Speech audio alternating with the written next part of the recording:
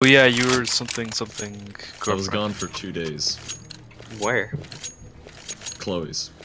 You were at Chloe's house for two days. You oh, better oh, have smashed. Oh my gosh.